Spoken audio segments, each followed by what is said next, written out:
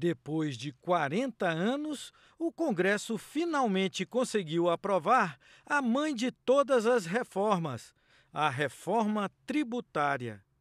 Para o relator, deputado Agnaldo Ribeiro, do Progressistas da Paraíba, a simplificação do sistema tributário e a adoção do imposto sobre valor agregado será uma revolução. Meu conterrâneo, Ariano Suassuna, dizia que o otimista é um tolo, o pessimista é um chato.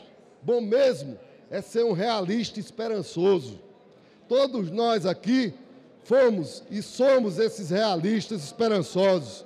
E acho que ainda não nos demos conta do tamanho do feito que alcançamos. Me desculpem a pouca modéstia, me desculpem, e é sério, mas convenhamos, o termo reforma não traduz o nosso feito. Ao invés de chamar isso de reforma tributária, eu prefiro chamar de revolução cidadã. Na solenidade de promulgação, o presidente da Câmara dos Deputados, Arthur Lira, ressaltou a importância histórica da aprovação da reforma, mas lembrou que o trabalho não terminou. A reforma tributária é do povo brasileiro. Reforma tributária é o futuro do país. Mas nosso trabalho não acabou, presidente Pacheco. Já assumo aqui o compromisso público de que já no primeiro dia do legislativo desta casa em 2024 começarmos a discutir indispensável legislação complementar que irá calçar a reforma promulgada hoje. A emenda constitucional 132, promulgada no último dia 20 de dezembro, estabelece um prazo de 180 dias para o governo encaminhar ao Congresso Nacional projetos de lei regulamentando a reforma tributária.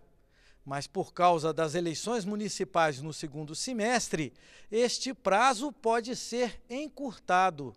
É o que explica o líder do governo na Câmara, deputado José Guimarães. 2024, portanto, é um novo desafio.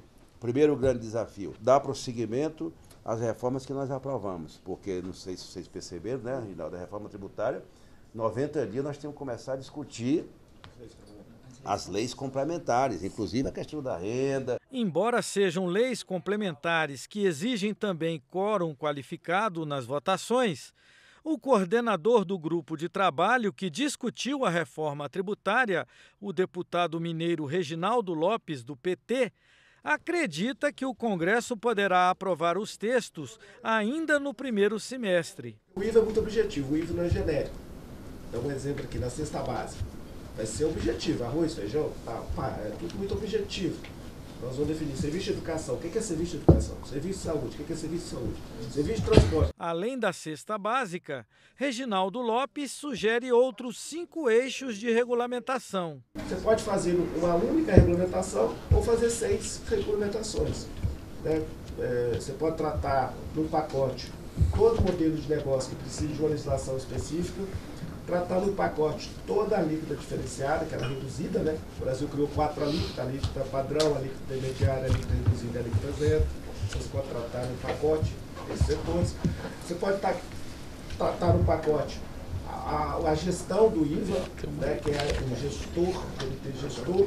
Depois no outro pacote, aplicação do Fundo Nacional de Desenvolvimento é, regional e no outro pacote os cashbacks, que a gente vai, qual é o público elegido, quais são os produtos, como se dará a devolução dos recursos. Para regulamentar a reforma tributária, o Congresso terá que definir a lista dos produtos da cesta básica que contará com alíquota zero de impostos. Essa lista deverá considerar a diversidade regional e cultural da alimentação do país e garantir a alimentação saudável. Outra lei complementar tratará do imposto seletivo para taxar a produção, extração, comercialização ou importação de bens e serviços prejudiciais à saúde ou ao meio ambiente. Também chamado de imposto do pecado, será fixado acima da alíquota padrão. O Congresso deverá regulamentar também o chamado cashback, devolução do imposto a pessoas de baixa renda na aquisição de serviços e produtos essenciais, como o gás de cozinha, com o objetivo de reduzir as desigualdades de renda. Neste bloco, incluem-se ainda a desoneração da aquisição de bens de capital e ressarcimento de créditos tributários. Lei complementar disporá sobre regimes específicos de tributação para os setores de combustíveis, financeiro, imóveis, planos de saúde e loterias, cooperativas, hotelaria e sociedade anônima do futebol, missões diplomáticas e transporte coletivo de passageiros. Leis complementares instituirão os seguintes fundos de compensação regional: Fundo de Desenvolvimento Sustentável dos Estados da Amazônia Ocidental e do Amapá, Fundo de Sustentabilidade e Diversificação Econômica do Estado do Amazonas e Fundo de Compensação de Benefícios Fiscais ou Financeiros Fiscais concedidos às empresas pelos estados